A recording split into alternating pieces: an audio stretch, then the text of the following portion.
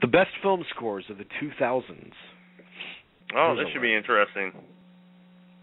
Dun- Danny Elfman, Corpse Bride.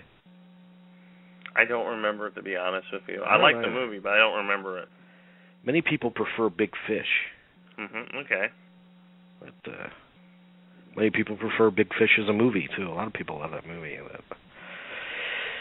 Javier Navarrete for Pan's Labyrinth. That's a great score. That's a very good score. Philip Glass for Cassandra's Dream. I don't. I like. I mean, I, remember, I like the movie. I don't remember the score though.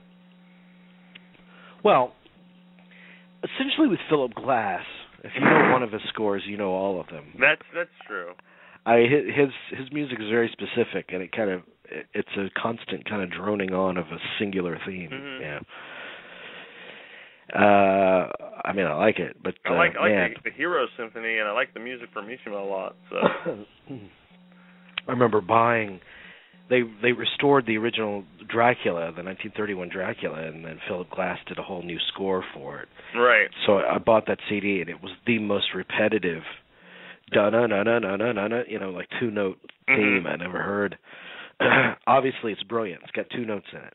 Uh, but Cassandra's Dream is is interesting because uh, Woody Allen never uses original score in a movie. that yeah, that I remember. Yeah. So that's what made that singular more than anything. Um, Hans Zimmer, number seven. They choose King Arthur.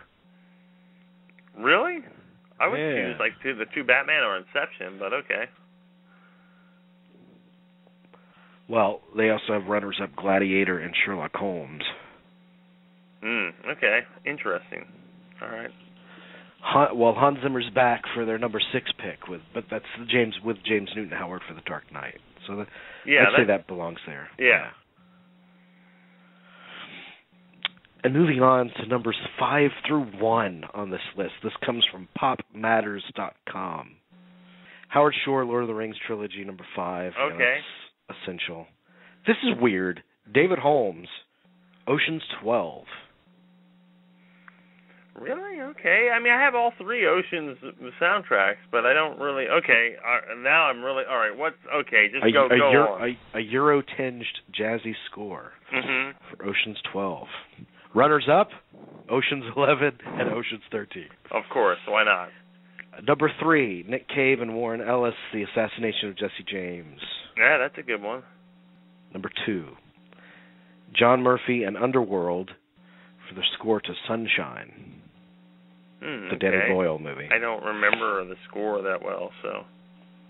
And number one, best score of the 2000s, which I guess is uh, ex, ex, uh, ex, ex deletes uh, 2011 and 12. Mhm. Like, the 2000s is 2000 through 2009, right? Mhm. Wouldn't you think so? I would think. Okay. Let's. Oh God. Okay. Number one is Clint Mansell, The Fountain. All right, the fountain. I mean, I'm, I think that should be on there. But what about like Jonny Greenwood? There will be blood. What about um?